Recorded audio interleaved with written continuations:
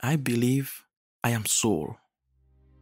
I really believe in the power of astrology. I believe that we have lived before. The belief I have in universal truth and universal consciousness. I believe that God exists. Spiritual belief of psychic power. Uttering the name of God uh, one purifies one's consciousness. God is now. I have seen angels. You know, Jesus Christ uh, was and is the Son of God. It's literally a light transmission. Sixth sense. Jesus came. Legitimate miracles. Hypnosis happen. is believe the that God is the author It's just that our beliefs create our reality.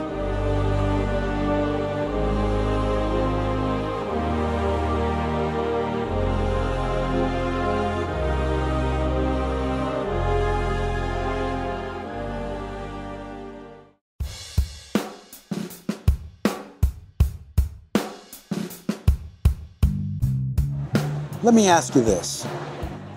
If your belief was incorrect, I'm not saying it's incorrect, but if your belief was incorrect, would you want to know it? No.